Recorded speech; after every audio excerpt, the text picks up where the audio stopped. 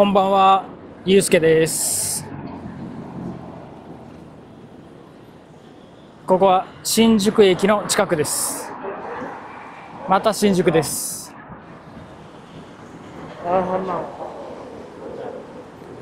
夜の動画はこれで3回連続です。夏は太陽が出てる時間に歩くと暑くて死にそうになるんで、夜の動画が多くなります。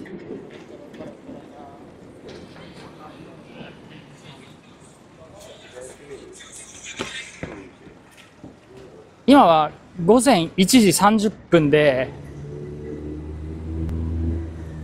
気温は28度ぐらい。午前2時ぐらいで34度あったんで、夏に散歩するなら夜がいいです。今日は暑い時間は家でエアコンをつけて YouTube を見てました。でも YouTube のショート動画って見てると終わらないですよね。フリックしてこう次の動画次の動画って時間の無駄ですね気づいたら1時間ぐらい経ってて本当に時間の無駄でした。ショート動画って1本で60秒以内だから1時間だと60本ぐらいの動画を見たんですね。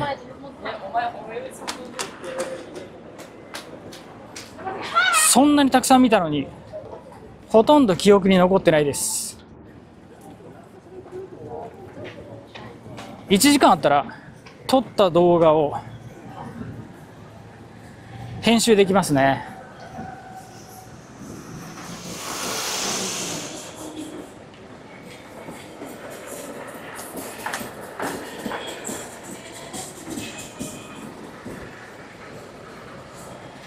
昨日僕の YouTube 動画のコメント欄に「なんで字幕がついてるんですか?」って質問が来ました。オンライン日本語教師だからですね。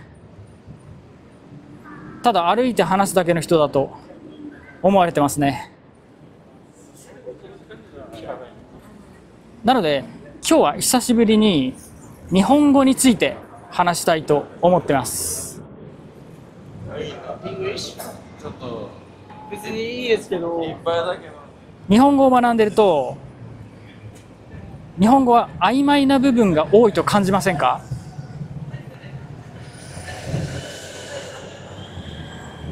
例えば「それは当然です」という短い文それは当然です。それは当然。それは当然ですね。それは当然だ。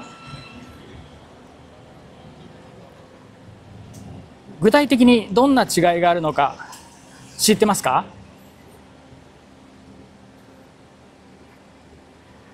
先に結論を言うとこの4つの違いは言われた人が受け取るニュアンスが違いますでも4つの文は全て同じ意味です。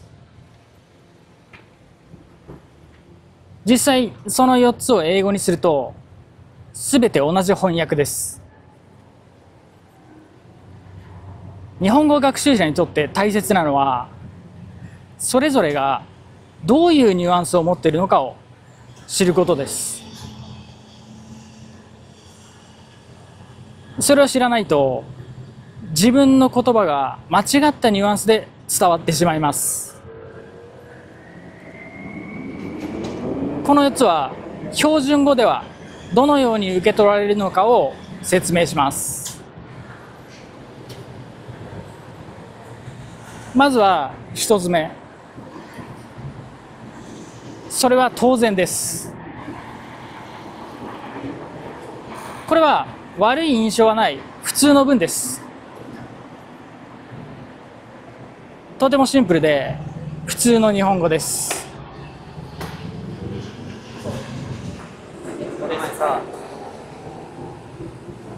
そして2つ目。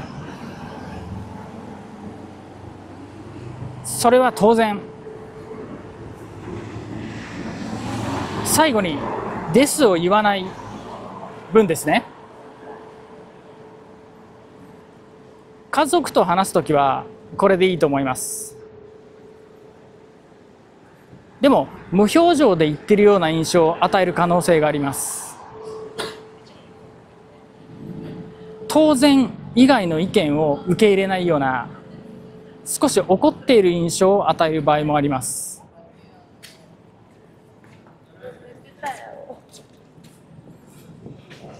そして3つ目。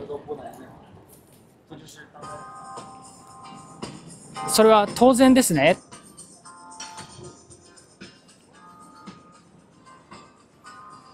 最後に「ですね」をつけました。僕も含め多くの日本人が「ですね」をよく使います「ですね」をつけることで2つ目の文のような無表情な印象はなくなります。笑顔で言っているように感じます。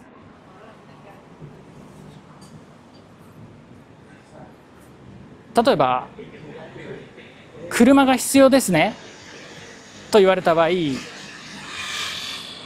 車が必要だから一緒に取りに行きましょう。と言われたように感じます。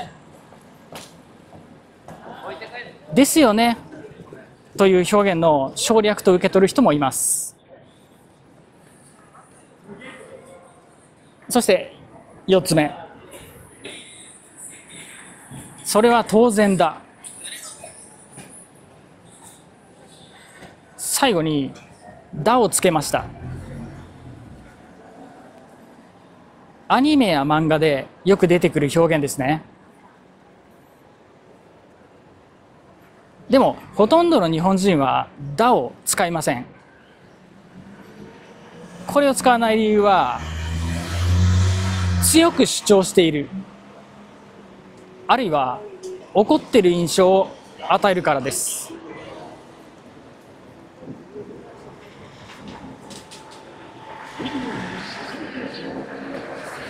日本語を学習している人なら知ってると思いますけど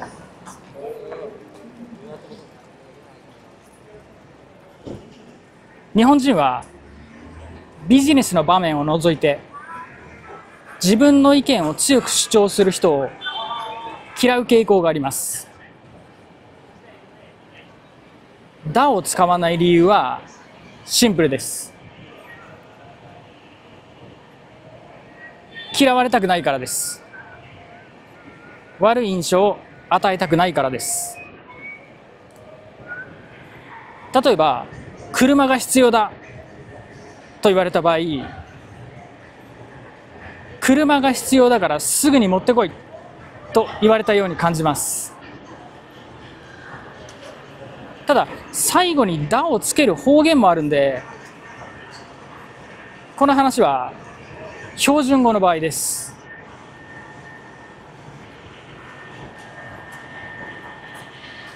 日本語では「私」「俺」「僕」のようにどの主語を使うかによってその人の印象が変わると言われています。でも実際は多くの日本人は人の印象を文の最後で感じています。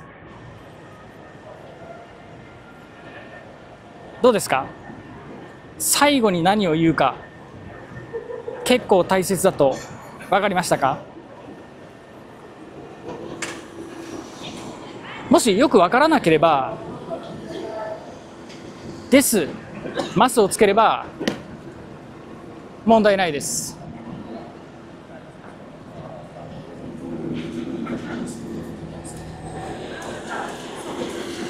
今日は日本語を話す時何を最後に言うかについて話しました。でも実はもっと大切なことがあります。それは笑顔で話すことです。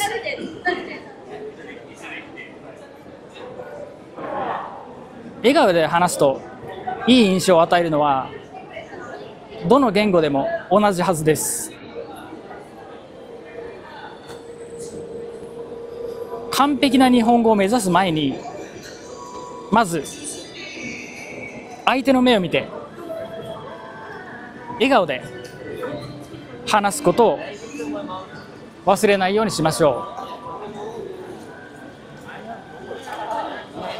少し日本語間違えても笑顔や雰囲気でいい印象を与えることができます。はい。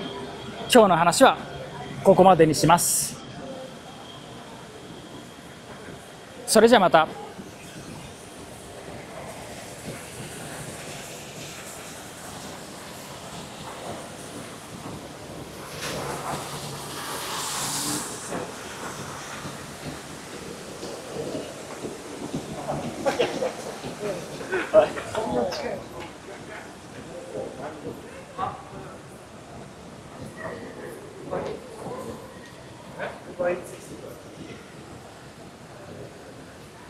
え